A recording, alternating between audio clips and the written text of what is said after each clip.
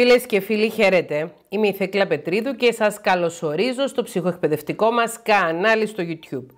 Αν δεν το πράξατε ήδη, πατήστε το κουμπί για εγγραφή και το καμπανάκι για να σας έρχονται ειδοποιήσεις κάθε φορά που ανεβαίνει νέο βίντεο. Και αν σας αρέσουν τα βίντεο φυσικά, πατήστε το like, μοιραστείτε το με τους φίλους σας στα κοινωνικά δίκτυα, γιατί είμαστε πολύ κοντά στο στόχο των 100.000 συνδρομητών και με αυτόν τον τρόπο μας βοηθείτε να το φτάσουμε, γιατί 30% των ανθρώπων που παρακολουθούν τα βίντεο μας δεν είναι εγγεγραμμένοι στο κανάλι. Οπότε αυτή τη στιγμή που έχουμε 88.880 εγγεγραμμένους, αν το 100% των ανθρώπων που παρακολουθούσαν τα βίντεο πατούσε εγγραφή, ήδη θα είχαμε ξεπεράσει κατά πολύ τους 100.000 συνδρομητές.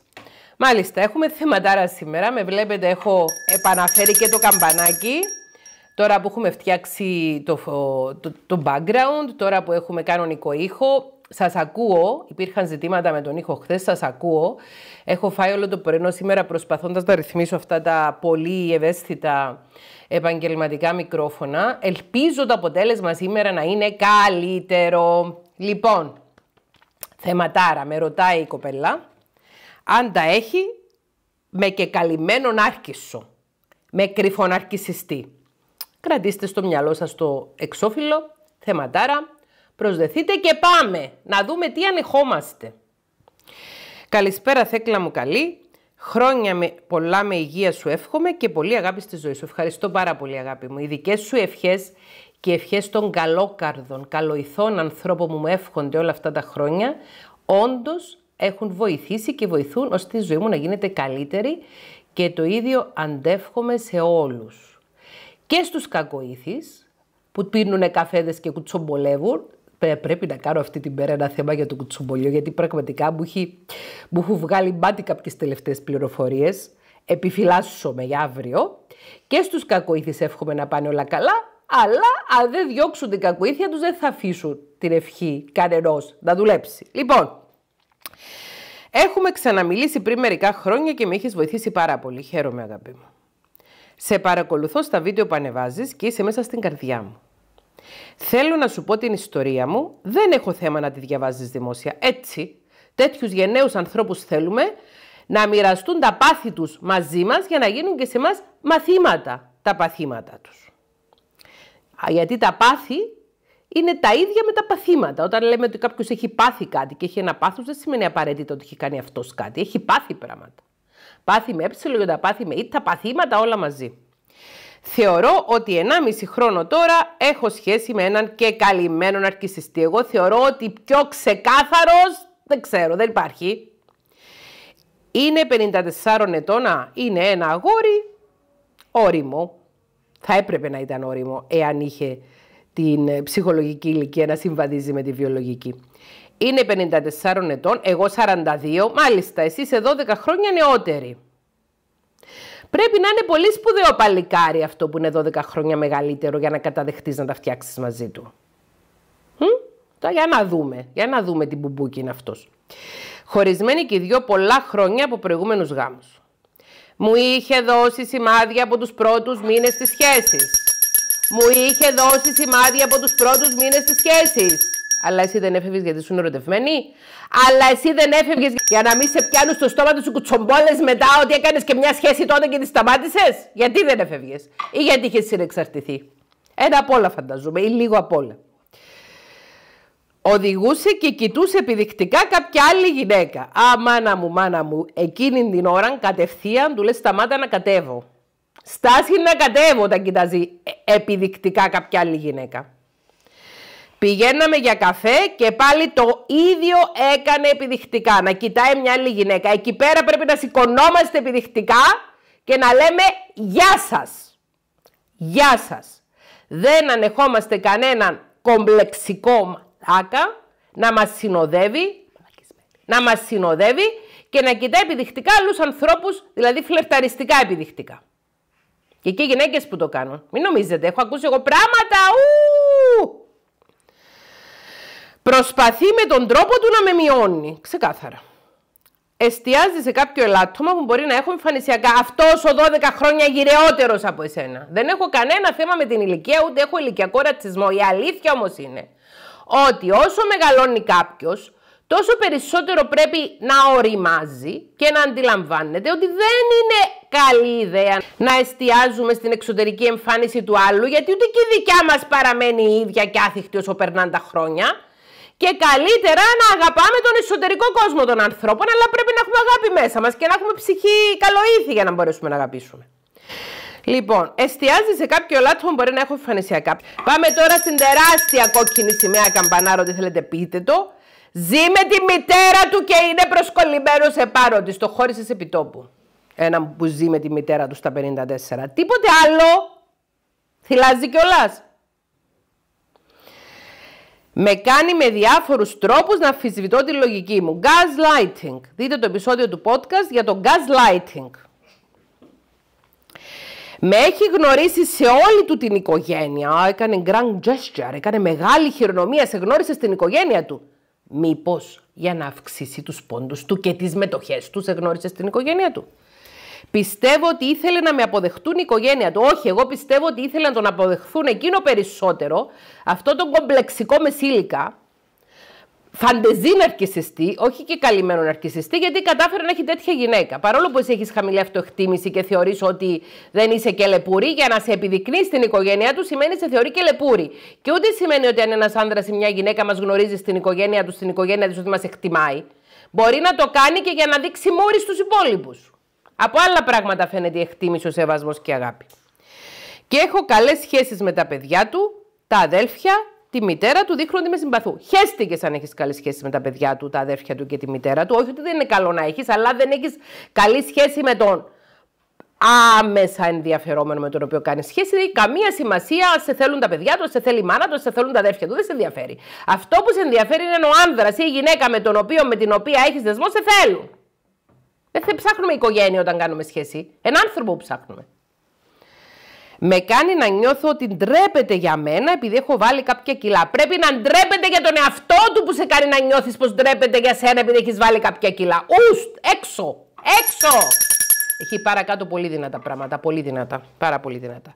Τις προάλλες, ακούστε. Θέλατε καμπανάκια κάποιοι. Να, σα ξεκουφάνω τώρα. Και δυνατό ήχο και καμπανάκια. Τις προάλλες, ακούστε εδώ ερωτισμούς. Ξαπλώσαμε στο κρεβάτι και ερωτοτροπούσαμε. Και την ώρα που με έτριβε την πλάτη, του είπα πόσο όμορφα αισθάνομαι. Και η απάντηση του ήταν εγώ πιάνω πατσάδες. Κόρη και δεν σηκώθηκες πάνω εκείνη την ώρα για να του πεις Ασυκτή! Ούτε πατσάδες θα πιάνεις. 54 ετών αυτός, εσύ 42 και σου λέει πιάνει πατσάδες. Να πας να πιάνεις τη μάνα σου να του πεις. Να πας να χαϊδεύεις την πλάτη της μάνας σου για φύγεις από εδώ. Έλεος και με ρωτάς αν είναι και καλυμμένος ναρκισιστής, έλεος. Πώς θα ήταν κόρη ο ξεκάθαρος αν αυτός είναι και καλυμμένος. Ούστα από εδώ. Ούστα από εδώ. Παλιό να του πεις. Μπορεί να ξέρεις και άλλα γαλλικά να πεις, εγώ δεν μπορώ να πω πολλά στο YouTube. Λοιπόν, αλλά η καλύτερη απάντηση είναι να του πεις «Αγιά σου». Δεν θα ξαναπιάσεις κανένα πατσάδικο μου, πιάνε ξένους. Κύριε Λέισον, πόσο προσβλητικός μπορεί να είναι. Εννοείται γύρισα την πλάτη μου και κοιμήθηκα. Όχι! Έπρεπε να σηκωθείς, να γυρίσεις την πλάτη σου, αγίσει και τον κόλο σου, να πεις Άι! και να φύγεις και να εξαφανιστείς. Την επόμενη μέρα μόνος του άνοιξε τη συζήτηση και με ρώτησε τι με ενόχλησε και όταν του είπα μου είπε σου έκανα πλάκα. Κάνεις τέτοιες πλάκες με τη φιλενάδα σου. Τώρα που τη χαντεύεις την πλάτη της ενώ το τροπείτε και σου λέει: Εγώ νιώθω όμορφα, εσύ τη λες: Εγώ πιάνω πατσάδες. Είναι πλάκες αυτές. Τον έγκυν σε όλο το μεγαλείο.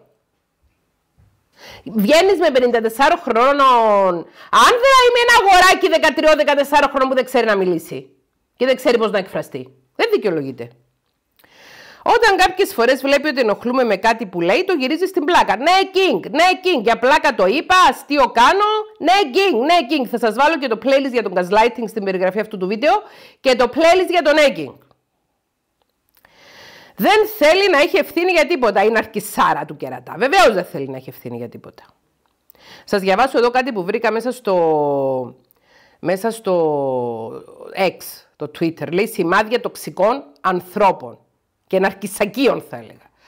Αγνοούν τις ανάγκες σου.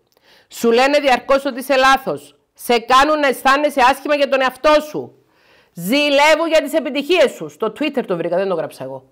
Δεν ζητούν ποτέ συγγνώμη. Να τους κοπεί το χέρι και να ζητούν συγγνώμη. Το στόμα να τους πέσουν τα δόντια. Παραβιάζουν τα ωριά σου. Σε χειραγωγούν μέχρι να πάρουν αυτό που θέλουν από εσένα.